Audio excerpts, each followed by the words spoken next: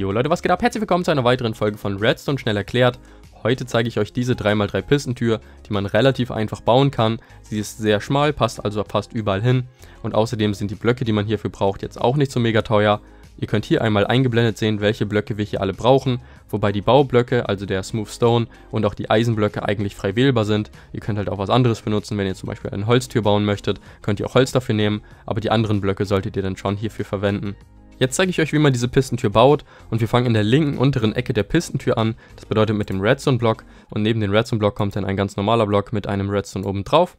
Daneben kommt dann ein Hopper, ganz egal wie ihr den place, also ganz egal wo das Rohr hingeht, könnt ihr irgendwie placen. Und dann kommen auf diese Seite nochmal zwei Observer, die den quasi mit ihrem Gesicht anschauen und der rote Punkt geht dann hier nach rechts weg. Sollte bei euch so aussehen. Als nächstes placen wir dann auch auf den Trichter oben drauf nochmal ein, der auch wieder mit dem Gesicht auf den Trichter zeigt, beziehungsweise der rote Punkt nach oben und der rote Punkt zeigt dann in einen Obsidian-Block.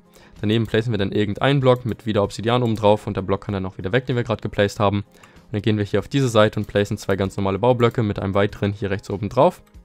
Was wir dann hier machen, ist einmal zwei Sticky-Pisten übereinander placen und dann hier vorne einmal einen Repeater, den wir dann auch direkt auf die letzte Stufe stellen.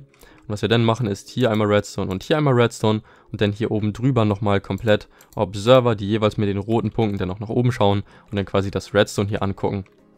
Danach kommt dann hier vorne nochmal ein Sticky Piston hin, der in diese Richtung zeigt. Und das hier ist jetzt quasi die untere Kante von unserer Pistentür. Das bedeutet, auf dieser Ebene hier wäre dann quasi euer, ähm, ja, euer Fußboden. Und dann würde sie offen halt so aussehen. Das nächste, was wir dann machen, ist hier vorne nochmal weitere drei Sticky Piston hinplacen. Und da können wir jetzt eigentlich auch hier direkt einmal diesen ähm, Umrandung von eurer Pistentür machen. Also so würde die Pistentür aussehen, würde sie jetzt offen sein.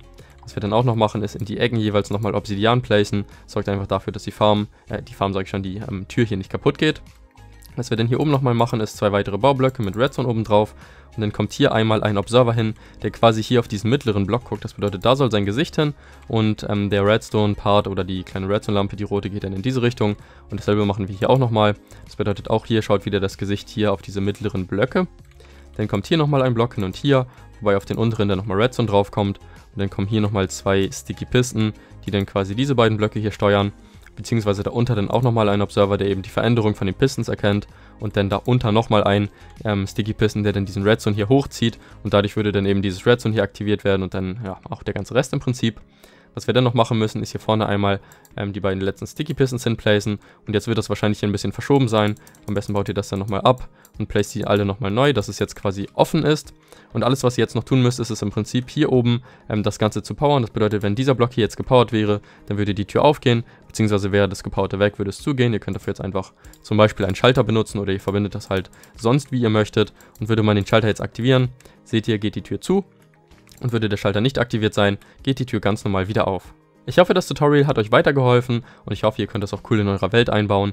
Wenn ihr bis hierhin geschaut habt, schreibt mal Hashtag 3x3 in die Kommentare und dann würde ich sagen, sehen wir uns bei einem weiteren Video. Bis zum nächsten Mal, haut rein und ciao.